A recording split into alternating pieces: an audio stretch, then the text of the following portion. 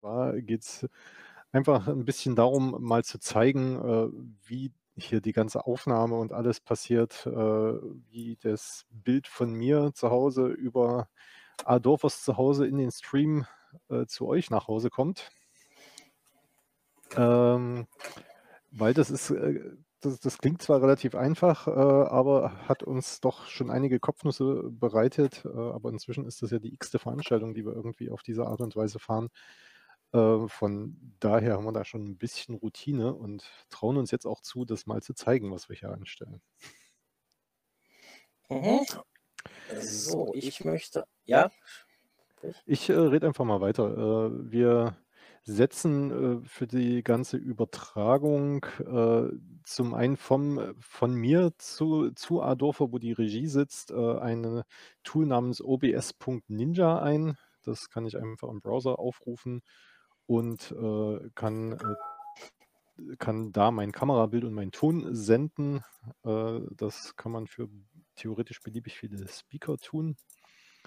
Äh, ich kann sogar meinen Bildschirm über dieses äh, Tool teilen und bei Adorfer kommt dann in der Software OBS, das ist eine richtige Desktop-Software zum Installieren, kommt dann ein Stream an, der diese äh, diese Bild- und Tondaten enthält und die werden wiederum eingebunden und dann in, in unser äh, Gesamtbild eingefügt, sodass man da hin und her schalten kann, ja.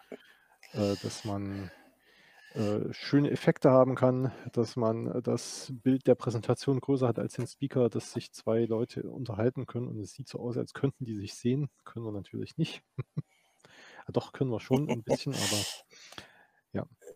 Ja, ich habe jetzt mal äh, reingeholt dort. Ich hoffe mal, dass ich es irgendwo auch im Vollscreen bekomme. Die Präsentation 16 suche ich, aber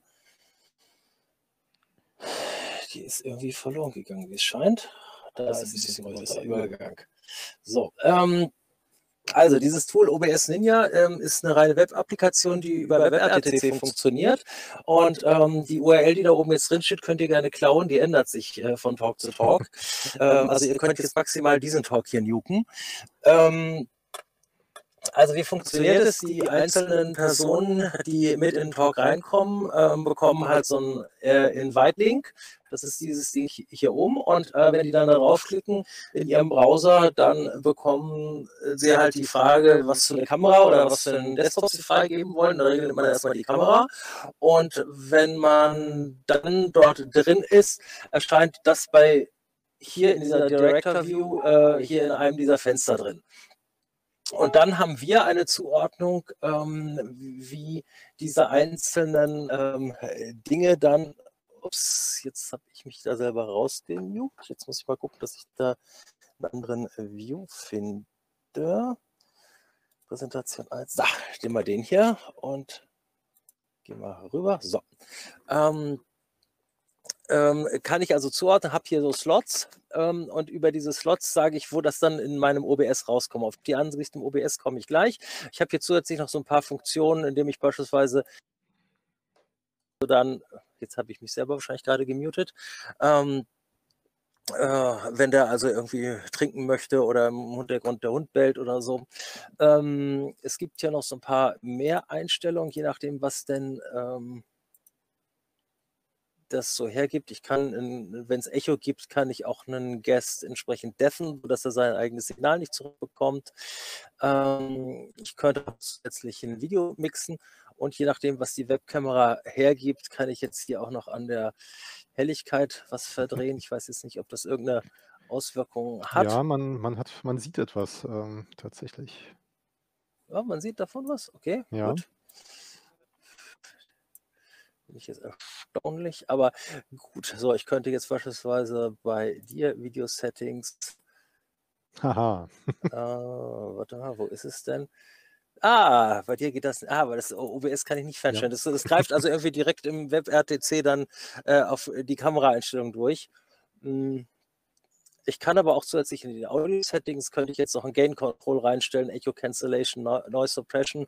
Da muss man dann zuschauen, dass, äh, wenn es wirklich eine Auto-Gain Control schon bei dem Vortragenden, der Vortragenden drin ist, dann äh, sollte man nicht das dort auch anhaben, weil das dann so sich so doppelt verstärkende, aufschaukelnde Effekte gibt. Gut, so. Also, das ist dieses OBS Ninja. Das dient also jetzt erstmal nur dazu, ähm, damit die Leute das äh, freigeben können, ihre Kamera. Und jetzt haben die, ha, wie zeige ich das denn jetzt am besten? Äh, jetzt äh, kannst du natürlich, äh, du kannst jetzt natürlich den, genau, dein OBS teilen.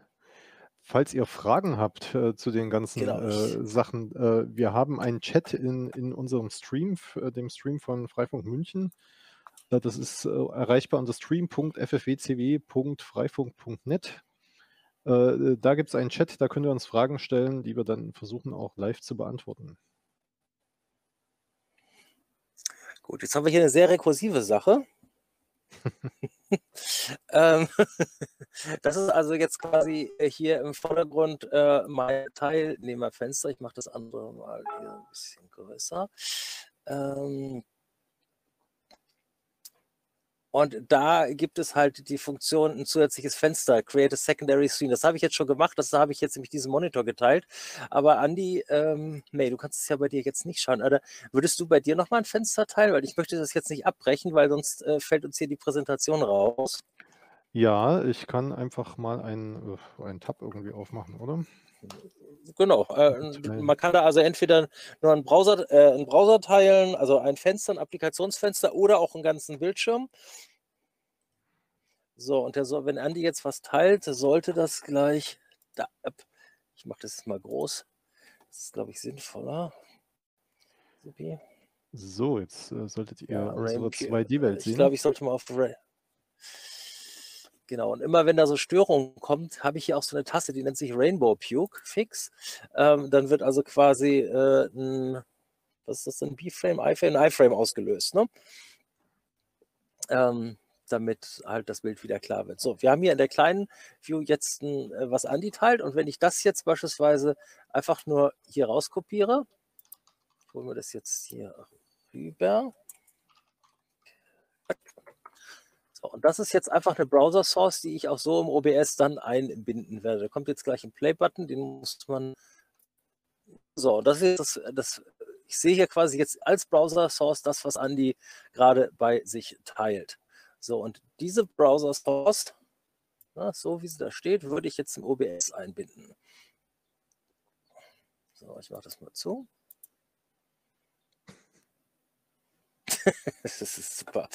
Ähm, so, und jetzt habe ich irgendwo P1 mit einem Insert. Speaker 1. Wir, sind jetzt in dem falschen Slot, weil ich in dem Herald-Slot bin und du bist in dem anderen. Warte mal, ich guck mal. C4. Also ihr seht, man, man kann sich ja auch wunderbar verlieren in dem Ganzen. Also ist, äh, man muss schon irgendwie Mhm. Übersicht behalten. Aber äh, natürlich ist das Tool So. sehr mächtig und man kann tatsächlich Äh. auch so Veranstaltungen fahren, wo man irgendwie mal Gäste spontan mit reinholt, äh, so als Schalte oder ähm, äh, mit mehreren so Panels abhält. Das, das würde man, glaube ich, alles hinbekommen. Man muss nur auf äh, dann So, quasi auf der- OBS-Seite wieder vorbereitet sein. So, ich schiebe jetzt uns rüber ein OBS.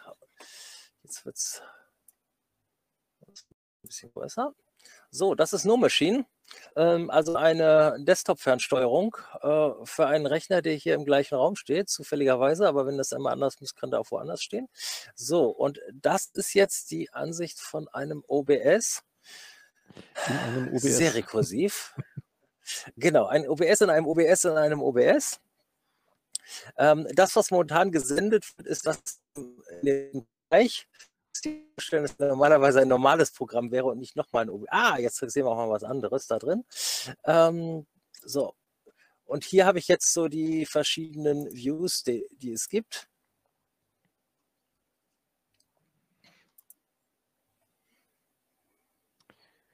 Ja, genau. Ähm, das ist also das, das, wenn ihr OBS kennt, das ist der Studiomodus. Hier im linken Bereich haben wir das, was vorausgewählt ist, was beim Übergang dann gesendet wird. Und ähm, das hier rechts ist dann das Programm, was aktuell gerade übertragen wird. Also Vorschau und Programm. Ihr habt gesehen, im Stream hat es jetzt gerade einmal gewechselt. Ich wechsle wieder zurück. Schwupps. Und da liegt dann auch äh, also da sind dann halt die ganzen Szenen drin. Ich kann auch mal eben Ansicht die ganzen Szenen, die wir zusammengebaut haben, Multiview im Fenster.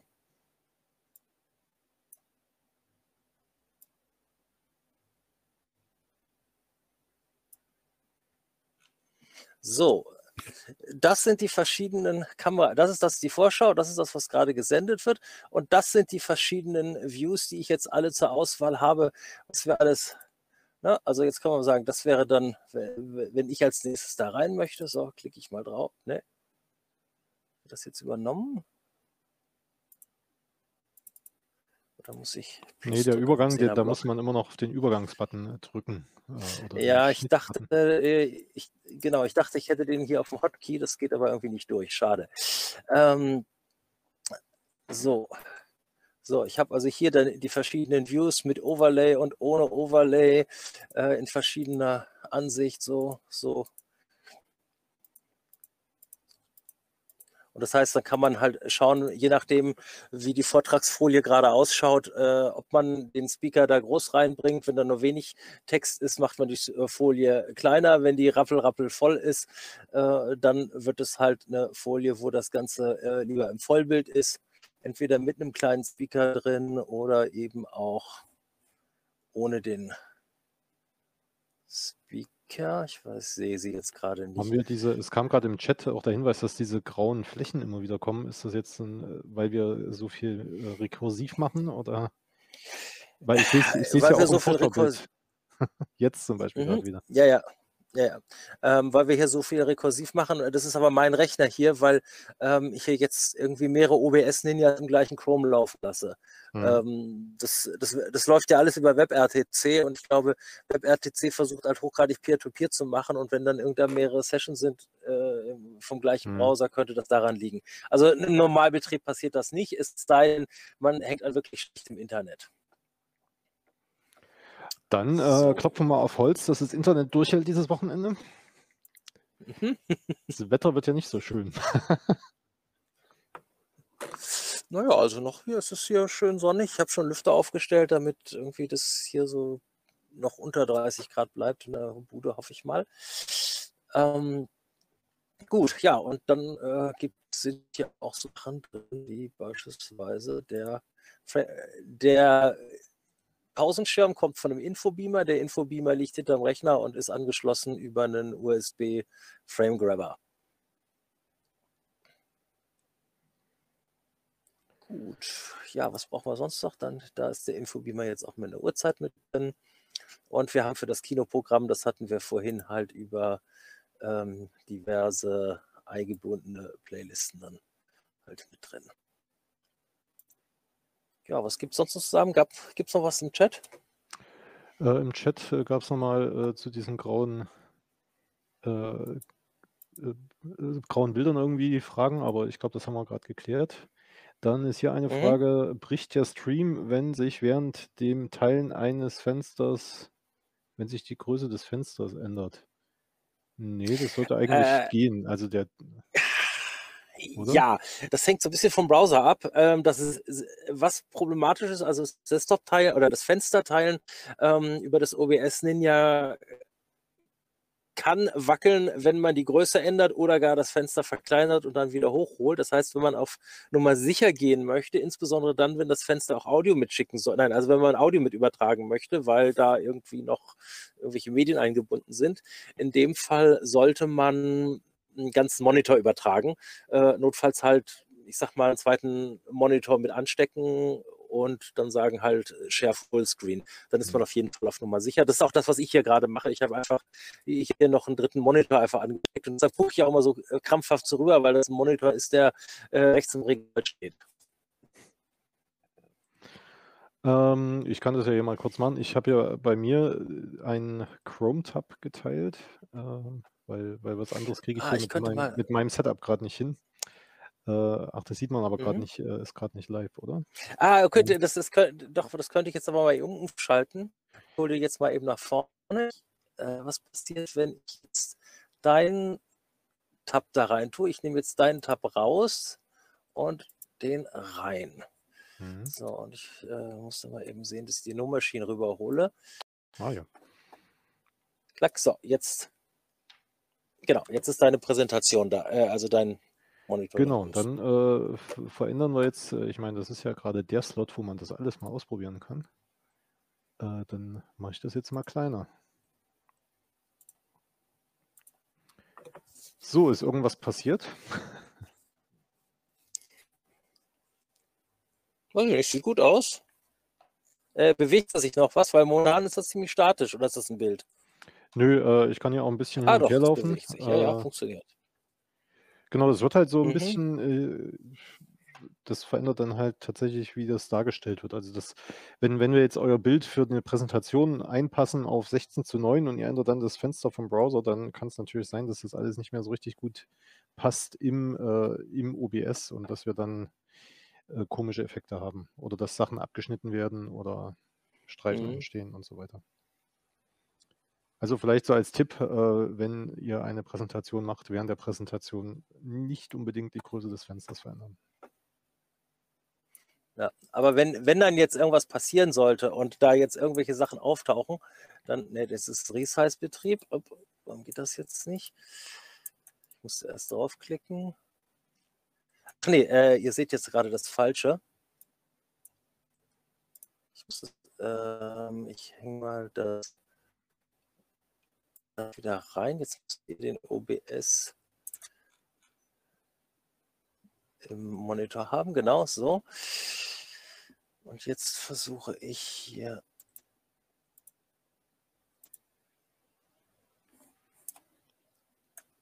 das. Also ich irgendwie geht die für die Alters äh, da jetzt so und dann kann ich halt hier anfangen lustig äh, zu beschneiden, zu sagen, ich will den Fenstertitel da nicht mit drin haben, ich will das kleiner haben, ich will das größer haben.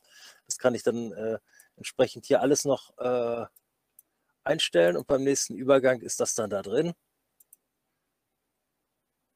So, jetzt setze ich das wieder zurück hier.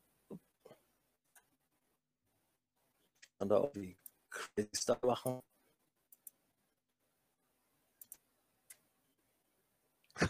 Okay, gut. Reset. Hier kommt auch gerade die Frage, wie viele Ressourcen auf dem Streaming-Server noch verfügbar sind. Äh, nicht, dass wir die Hardware kaputt machen, aber äh, das muss Freifunk München beantworten, die Frage. Aber wir haben nur Auf einen Stream, also das kann ja, Ja, das ist von München. Mhm. genau, also wir haben ja nur diesen Ansonsten einen hier, Stream hier, ja da, da im dürfte, Rechner.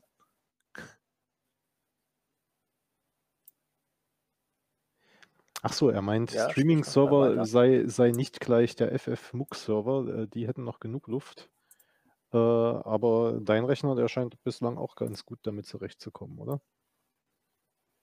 Ähm, ich, ich gucke mal, ob ihr das da unten sehen könnt. Ich muss nur eben die, wie gesagt, ich gucke hier so diagonal in, ins, auf die Sonne, der ganz hinten im Regal steht. Deshalb ist das so ein bisschen schwierig alles. Also der, äh, wenn ihr es, könnt ihr es erkennen? Ich weiß es nicht. Sonst, Also hier im Stream ist, glaube ich, mein Bild davor, äh, deswegen sieht man da nicht, was da was, was Ah, da okay, CPU-Auslastung ist. okay, ich gehe nochmal zurück, äh, weil ich kann es nur resizen, wenn das, äh, so, Übergang. So, jetzt müsste es Stream zu erkennen sein, hoffe ich mal. Ich gucke da jetzt selber gerade mal rein. Also irgendwie so 2% oder sowas müssten da irgendwie so 1,8% rechnen mit Sicherheit. Äh, aber er kriegt auch geholfen von der RTX-Grafikkarte. Ja, ich denke, dass äh, ich, mehr Sorgen müssten wir uns höchstens um Internet machen, wenn irgendwie bei Vodafone oder was weiß ich, wo du gerade bist, äh, was einknickt. Äh, dann, dann wäre es problematisch. Genau, und was die Nachbarn hier so äh, im Internet machen, ja. Also das ist äh, äh ein MPTCP-Router, der mehrere Uplinks hat, aber äh, Upstream ist halt äh, häufiger mal, gerade der Hauptupstream halt ein DOCSIS ist. Mhm. Da gibt es ja, ja, halt nur einen. Ja. Ich lese auch im Chat, äh, dass es wohl Audioaussätze gibt. Ähm, vom Grünen, also du wahrscheinlich, das. Adorfer. Der grüne, also ja, ja, der grünen Hintergrund das, ist Adorfer. Ich habe auch einen grünen Hintergrund, den sieht man bloß nicht. Ja, genau. Ich habe hier mein OBS ausgemacht. Ähm, mein, mein Rechner, an dem ich hier sitze, hat, ist hier so ein bisschen am, an, äh, am Anschlag. Von daher, äh, ja, sorry. Ähm, wird nachher im anderen Setup besser.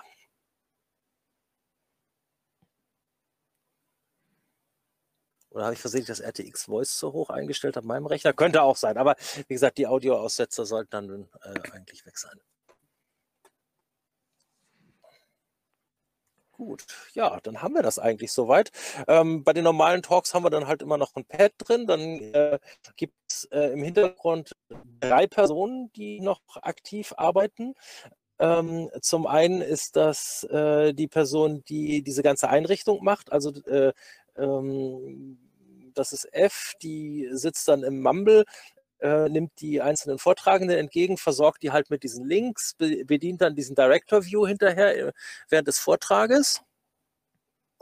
Dann gibt es als nächstes ähm, einen Signal Angel, ähm, der sich darum kümmert, die diversen Fragen einzusammeln, das Pad, ähm, ich sage jetzt mal, zu sortieren, ähm, das da einzupflegen, äh, die diversen Chats, also die bei Freifunk München oder es gibt, glaube ich, den Stream auch noch bei YouTube und bei äh, Twitch, ähm, auch dort hineinzugucken und in, in Sachen reinzutun. Ähm, dann ist natürlich der Harold da, ähm, mit dem dann die äh, Vortragenden hinterher das QA machen. Und dann gibt es noch den Streamwatching Angel, ähm, der immer in die Runde läuft und guckt, dass die Streams bei den diversen Playout-Plattformen äh, und nicht hängen, dass man notfalls da nochmal gegentreten kann, wenn denn YouTube, das ist momentan wohl das, das wackeligste, ähm, und nicht automatisch wieder resumt, weil da muss man den Stream für eine Minute beenden. Wenn man den zu schnell wieder startet, ja, hm keine Ahnung. Ja, aber äh, das Wichtigste ist ja, dass, dass der Stream zu Freifunk München geht. Äh, das ist unser Hauptkanal und der Rest ist eh nur erst. Genau, und das wir nicht vergessen haben. Ja, und dass wir nicht vergessen haben, auf Aufnahme zu drücken. genau. Gut. Gut, ja. 25 Minuten sollte reichen, oder? Ja, falls noch weitere Fragen, Fragen sind, sind, wir sind ja in der Welt. Genau, kommt einfach äh, in die 2D-Welt, äh, die, die wir gebaut haben. Da trefft ihr uns dann, glaube ich, ab heute Abend irgendwann und da könnt ihr jede Frage noch loswerden zum Setup. Gut, äh, so, ich gucke mal kurz, wie viele. Ja. Wir, wir haben sogar 14 Zuschauer jetzt schon im, äh, im Stream. Dafür, dass es quasi nur die Generalprobe ist. Ne? ja, die Session haben wir aufgezeichnet. äh, die könnt ihr gerne nochmal nachschauen dann. genau. Äh, und es wird hier niemand nach den Präsentationsfolien fragen. Das ist mal schön. ja.